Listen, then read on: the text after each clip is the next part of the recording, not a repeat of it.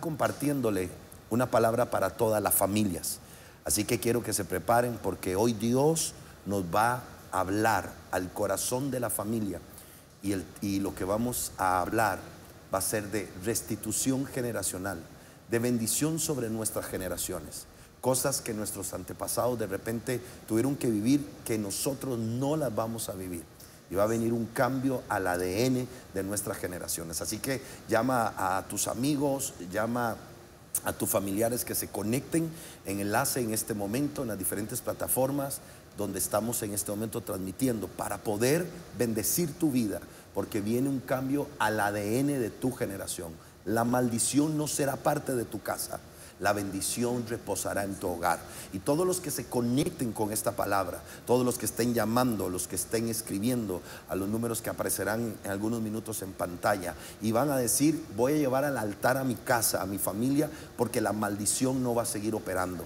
Y eso es lo que hoy vamos a ministrar, va a ser un tiempo poderoso. Vamos a estar orando por toda la gente que esté llamando acá a enlace, a todos los que estén escribiendo, a los que se estén trayendo el nombre de sus hijos, de su esposo, de su esposa, de sus padres, porque la maldición, recibe esto, la maldición no va a reinar más en tu hogar. La pobreza, la enfermedad, la miseria, los pleitos, la división no va a reinar más en tu hogar. Hoy vamos a tener un rompimiento a través de la palabra y sé que junto con mi hija vamos a vivir un tiempo poderoso. Así que si yo fuera tú, desde ya empieza a poner el nombre de tu familia acá en enlace porque vamos a traer rompimiento de maldición activación de bendición. Hola mi amor, eh, muy emocionado de lo que Dios hará en los próximos minutos con todas las familias. Así es, de verdad muy feliz y emocionada de lo que Dios está haciendo desde ya en tu casa y lo que empezará a hacer en los próximos minutos, días, meses, porque hoy se empieza a activar algo, ¿verdad? Y hablábamos ahora,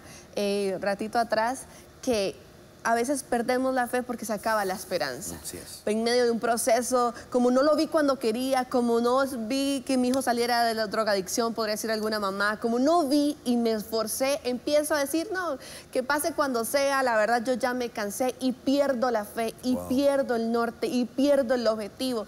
Cuando el desierto debería de ser, y un día lo enseñaste, el mejor Edén se vuelve más bien tedioso pero es- todo depende de hasta quién estoy confiando y hacia dónde estoy enfocada. Si yo decido enfocarme, si yo decido creer, si yo decido, porque a veces no lo siento, Así es. a veces no siento creer, a veces no siento tener esperanza, pero ahí es donde entra la convicción, el carácter en decir, no lo veo, pero que no lo esté viendo no quiere decir que no vaya a suceder o que Dios lo esté haciendo. Y este tiempo que vamos a tener es para abrir un espacio para atraer nuestras familias, aquellas mujeres, como decía mi hija, que de repente perdieron la esperanza eh, y dicen, no, ya, ya no sé qué hacer con mi hijo, no sé qué hacer en mi matrimonio, no sé qué hacer en mi hogar. Quiero que llamen en este momento todas esas familias, esos padres, esas esposas, esos hijos que dicen, hay esperanza para mi casa, hay esperanza para mi hogar. ¿Por qué? Dice la escritura en el libro de los Hechos, capítulo 16, verso 31, cree en el Señor Jesucristo y serás salvo tú y tu casa.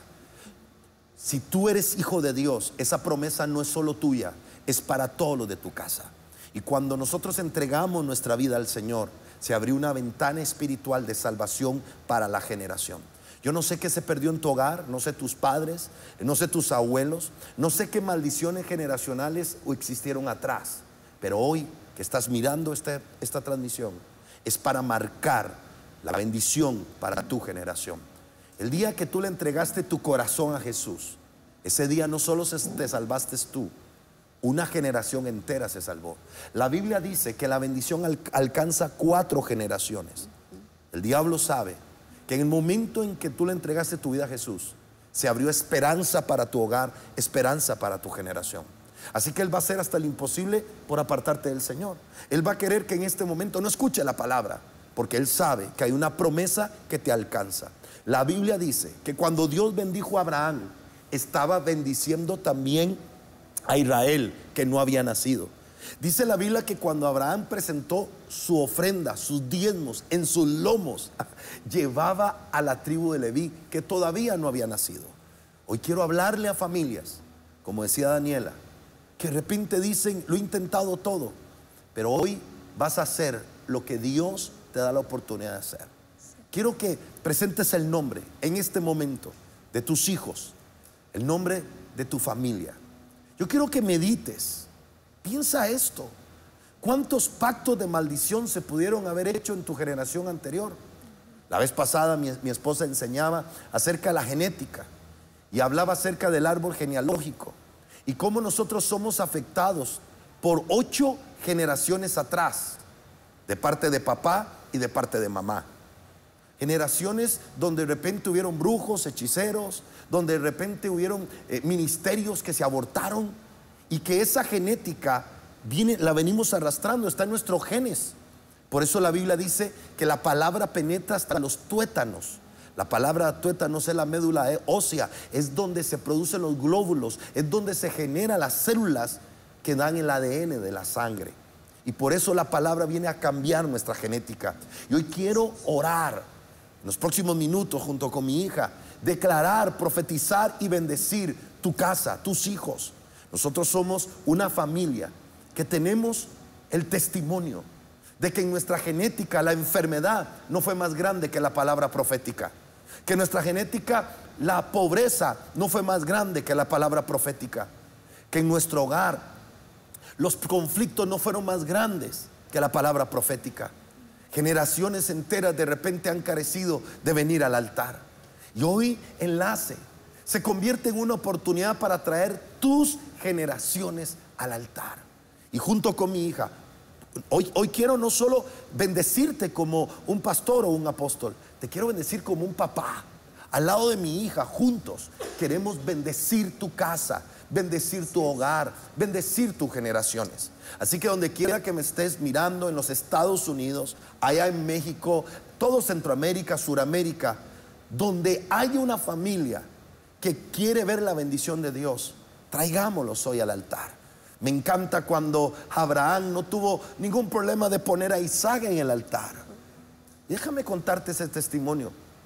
Cuando Daniela, que eh, hemos en alguna ocasión aquí mismo en enlace contado, que estaba, que nació y que los doctores no le dan esperanza de vida, yo vine y se la presenté al Señor en el altar. Y le, dice, le dije, Dios, tu palabra dice que los hijos son herencia. Y yo vengo a dar a la herencia que tú me daste, diste, a ponerla en el altar. Y se la entregué al Señor. Y puse una ofrenda por mi hija en el altar, creyendo que el propósito de Dios en su vida se iba a cumplir. Hoy, lo que puse en el altar, lo veo en el altar Cuando yo la veo predicando en el altar, fue porque yo la puse en el altar. Así vas a ver tus hijos. Así vas a ver tus generaciones. Así vas a ver tus nietos. Le quiero hablar a abuelos que se, acaban de dar cuenta que eh, está, embarazada su hija. Y tal vez quedó embarazada eh, fuera del matrimonio. Y, y estás llorando y diciendo, mi hija me deshonró. Un momento, allá adentro hay una generación bendita. Tal vez la forma fue dolorosa, pero el propósito no va a ser doloroso. Trae aquí ese nieto que de repente fue por una relación fuera del matrimonio, de adulterio tal vez, de fornicación, y eso trae vergüenza a tu casa, pero adentro hay una generación bendita. De repente fue a través de una violación y está sufriendo. Le hablo a esa joven que de repente dice, mm, quisiera abortar.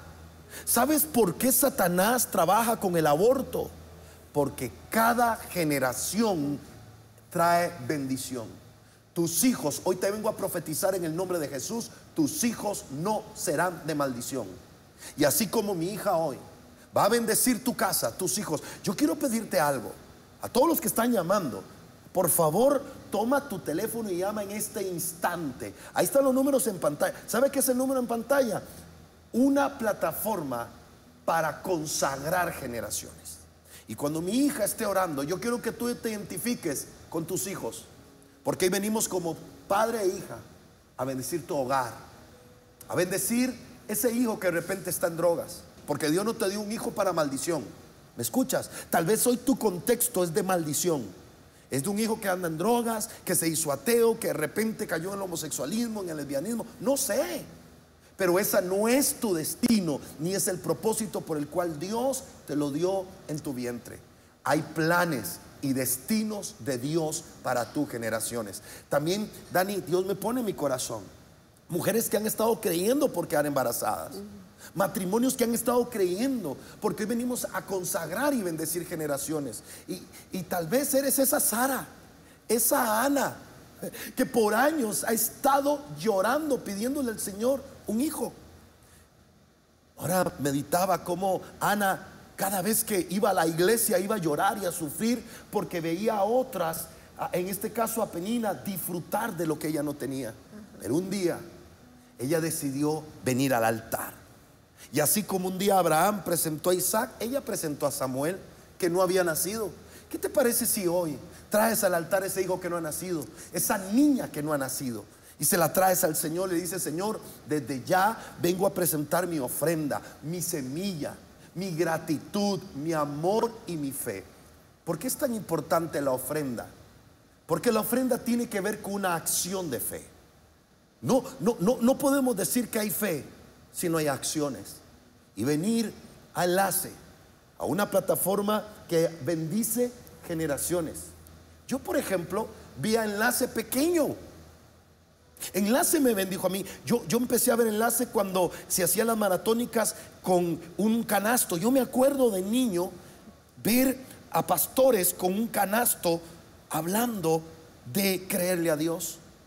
Y ese recuerdo lo tengo aquí. Años después, ahora estoy sentado acá bendiciendo otra generación. Una generación que me bendijo y ahora yo soy la cosecha de una generación que sembró.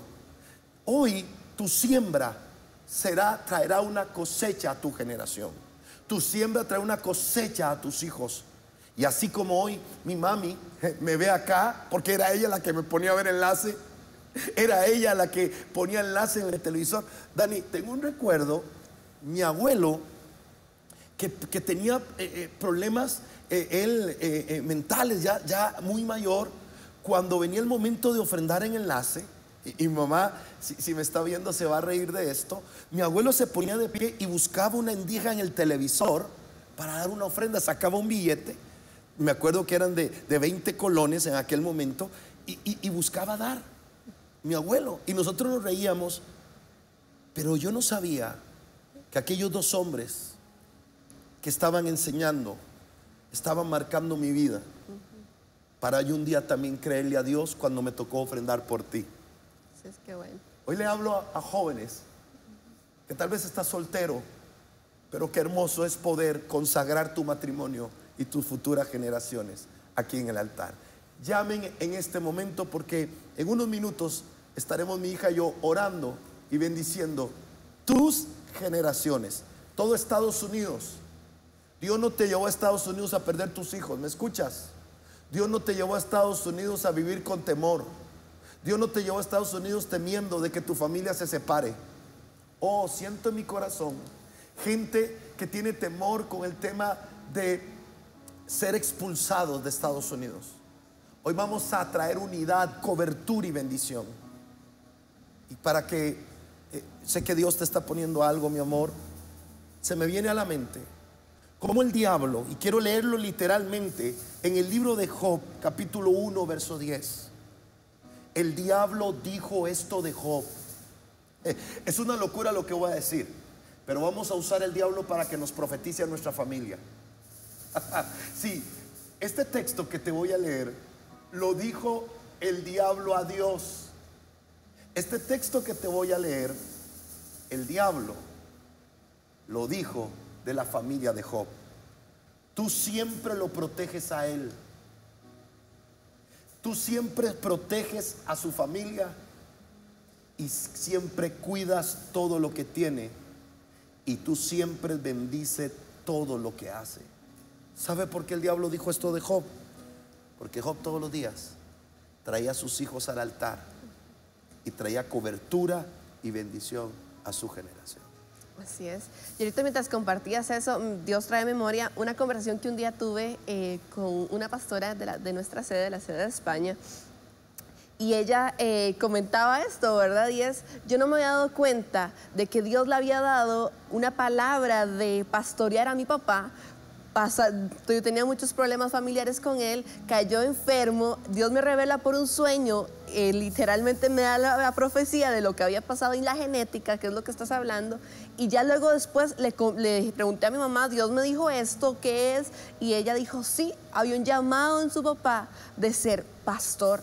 Lo que pasa es que él no lo cumplió, él estaba alejado, él no se acercó, pero lo que no alcanzó a esta generación, había una promesa en la genética que la alcanzó a ella. Wow una promesa, porque cuando Dios promete y se mete en tu vida, se mete en tu apellido, se mete en tu casa, se mete en tu familia, Dios no olvida sus promesas. Y si esta generación no lo va a cumplir, lo va a cumplir esta. Y si esta no, no la va a cumplir, la va a cumplir la otra. Hasta que llega un día que una dice, Dios cuenta conmigo, que mi generación, mis hijos lo van a lograr y a cumplir tu propósito en esta tierra.